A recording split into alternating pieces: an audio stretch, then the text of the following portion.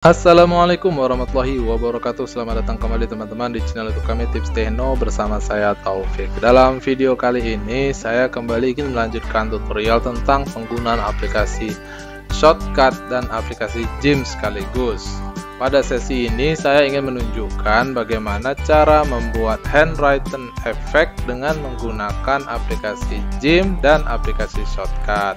Untuk teman-teman yang belum mengenal aplikasi Gym dan aplikasi Shortcut, aplikasi Gym adalah aplikasi yang biasa digunakan untuk edit foto, sedangkan aplikasi Shortcut adalah aplikasi yang biasa digunakan untuk edit video. Kedua aplikasi bersifat gratis karena berbasis open source. Oke teman-teman, tak perlu menunggu lebih lama, langsung saja kita mulai belajar bagaimana cara membuat efek tulis tangan atau handwritten effect dengan menggunakan kedua aplikasi yaitu aplikasi Gym dan aplikasi Shortcut.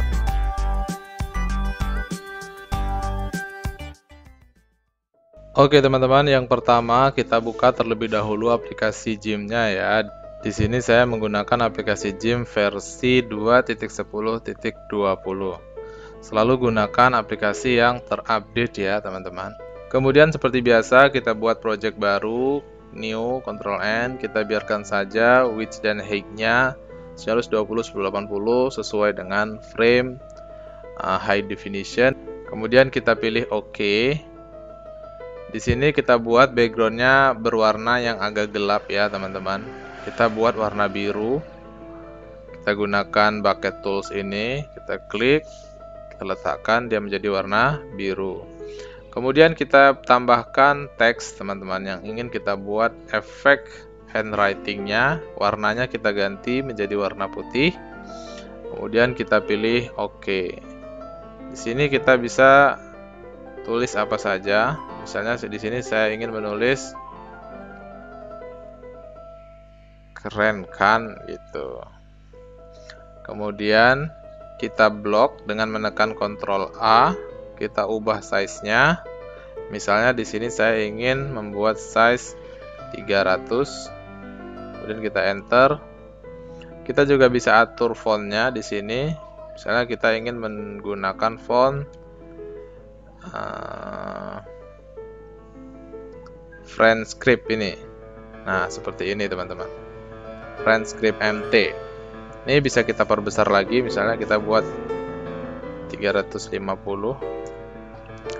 Kemudian kita buat dia menjadi rata tengah dengan menggunakan tools alignment ini. Kita klik, kita letakkan dia di tengah. Dan kita letakkan dia di bawah. Ini sesuai selera aja. Kemudian kita pilih warna putih dengan menggunakan select by color. Di sini ada fitur select by color. Kita select dulu teksnya.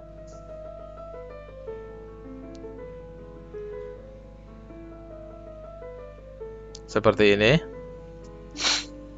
Kemudian untuk memastikan bahwa teks yang ada benar-benar terseleksi dengan baik, kita bisa tambah selectnya dengan menggunakan select grow.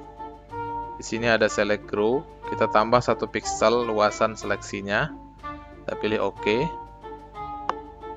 Kemudian setelah kita tambahkan teks, kita select dan kita tambahkan luasan seleksinya. Selanjutnya kita tambahkan layer, teman-teman. Kita tambahkan layer. Sini kita buat new layer dengan warna transparan, fill with transparency. Kemudian kita pilih OK. Selanjutnya kita gunakan brush. Paintbrush di sini kita bisa atur size-nya di sini teman-teman. Size luasan paintbrush-nya. Jika tulisan kita besar, kita bisa tambah size-nya di sini. Semakin besar size-nya, maka paint-nya semakin besar. Kita paskan sebesar dengan tulisan yang kita buat, teman-teman. Kira-kira di sini ukurannya misalnya 19 mungkin. Ya, 19. Oke, setelah kita tentukan besar luasan size-nya, di sini ada pengaturan warnanya, teman-teman. Color from gradient. Ini kita klik, kita pilih color from gradient. Saya sudah mencoba dengan basic atau basic simple, dia tidak tidak jadi, teman-teman. Tidak berhasil membuat efek uh, efek handwriting dia langsung muncul bersamaan. Jadi gunakanlah color from gradient. Oke, setelah kita gunakan color from gradient, kemudian di sini warnanya kita buat hitam dan putih ya, teman-teman. Hitam dan putih. Warna birunya kita ganti warna hitam. Dan kita pilih OK. Sehingga gradiennya pun menjadi hitam dan putih. Kita biarkan saja gradiennya default. Kemudian kita mulai mewarnai tulisannya, teman-teman. Yang perlu diingat di sini, teman-teman, ketika kita mewarnai tulisannya, kita gunakan klik kiri pada mouse dan kita tahan sampai proses pewarnanya selesai. Jadi tidak boleh kita klik, kita angkat gitu ya, teman-teman. Kita mulai dari seperti ini, misalnya gini. Ini kita tahan aja, kita klik, kita tahan sampai selesai, baru kita angkat. Karena ketika kita angkat, dia akan mulai lagi mewarnai dari awal. Efeknya seperti itu. Jadi, efek kedua dan efek pertama nanti munculnya bersamaan. Ya, seperti ini.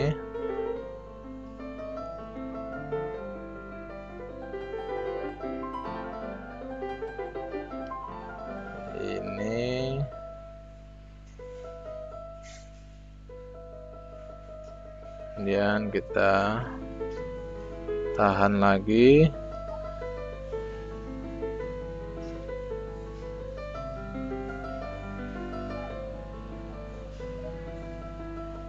Oke setelah selesai seperti ini teman-teman kita lihat di bagian layer di sini ada tiga layer background dan teks dan uh, layer yang transparan yang kita buat di atas paling atas Sini yang kita ekspor pertama adalah layer yang paling atas. Background dan teksnya kita hilangkan.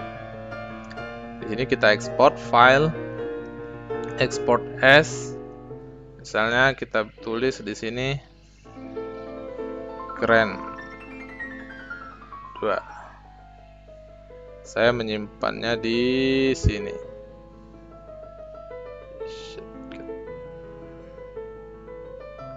keren. 2 sudah ada berarti keren 3 belum kita ekspor teman-teman kita ubah dulu extensionnya menjadi PGM PGM kemudian kita ekspor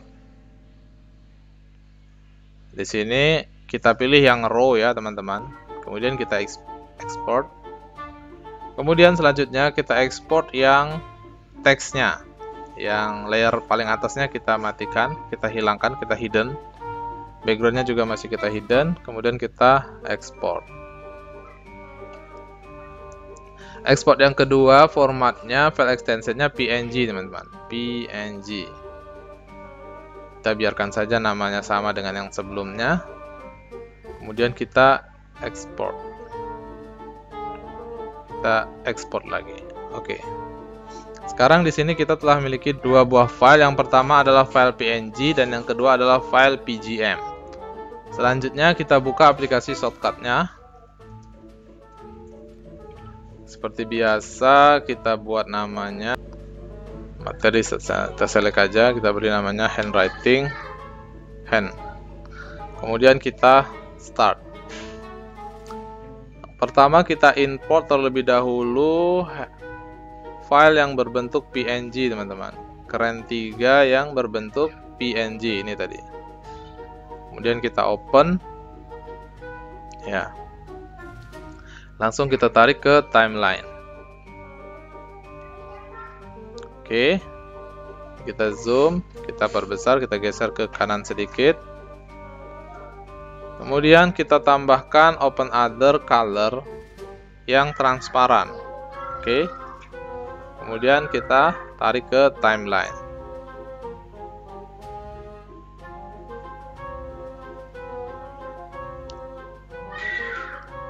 Seperti biasa untuk membuat transisi ini kita gabungkan seperti ini agar menjadi transisi yang berwarna ungu ini. Ini kalau kita jalankan ya dia langsung muncul seperti itu. Nah, transisi ini sebenarnya di sini bisa kita atur pilihannya banyak ada seperti ini ya Nah, seperti ini. Dan yang kita buat tadi adalah secara custom. Kita menggunakan secara custom dengan memasukkan file PGM. File PGM keren 3. Yang ini, keren 3. Dan kita open. Dan begitu kita jalankan, cara dia menjadi handwritten effect. Dan untuk mengatur durasinya sangat gampang teman-teman. Ini kita bisa tambah ke sini. Kalau dirasa terlalu cepat, ini bisa kita geser saja. Seperti ini. Ya. Oke, sudah jadi efek handwritten-nya.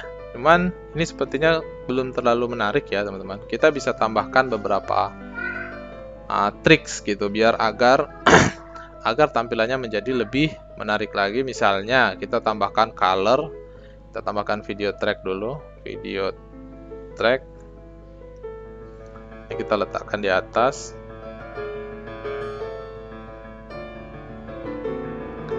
Kita tambahkan color, misalnya kita buat warna pink oke warnanya kita letakkan di bawah ini backgroundnya bebas ya teman-teman. Bisa bentuk video bisa bentuk warna bisa bentuk gambar. Jadi ketika kita jalankan dia menjadi seperti ini. Jika dirasa masih kurang maksimal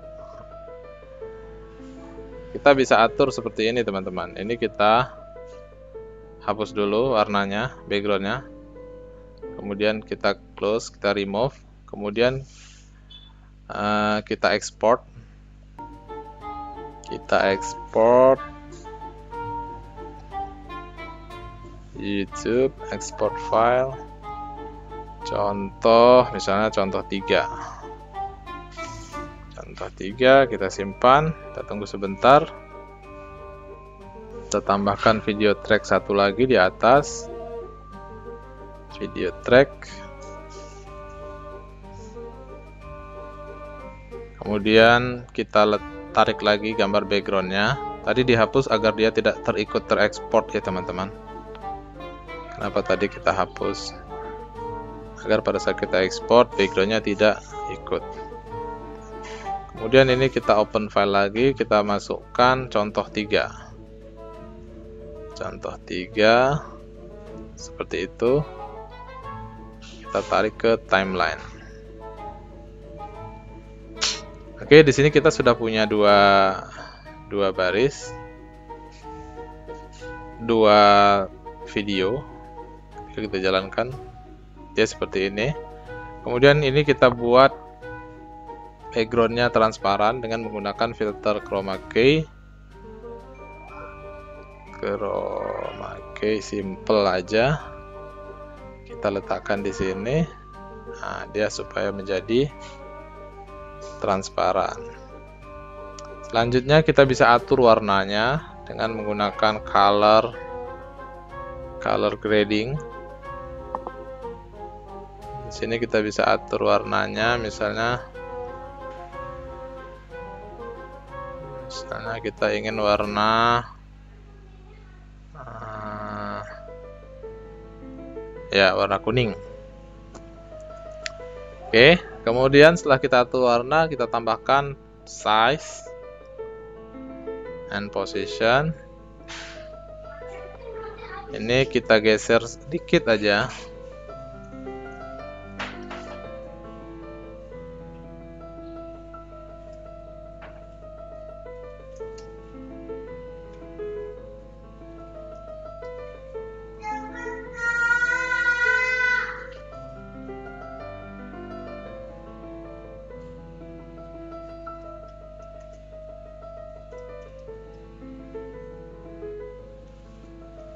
geser sedikit untuk memberikan efek tiga dimensi teman-teman. Ya seperti ini. Untuk memberikan efek tiga dimensi. Jika kita jalankan kita coba jalankan ya.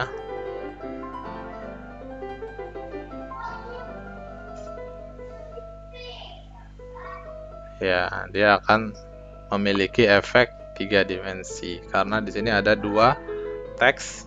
Pertama yang kuning kemudian yang putih Oke teman-teman itu tadi bagaimana cara membuat efek tulis tangan atau handwritten effect dengan menggunakan dua aplikasi sekaligus dua-duanya gratis dan open source yaitu aplikasi Jim dan aplikasi Shortcut. Oke, semoga tutorial ini bermanfaat. Terima kasih. Jika teman-teman merasa video ini bermanfaat, klik like, komen, dan subscribe, dan share sebanyak-banyaknya ke teman-teman yang lain ya. Terima kasih. Wassalamualaikum warahmatullahi wabarakatuh.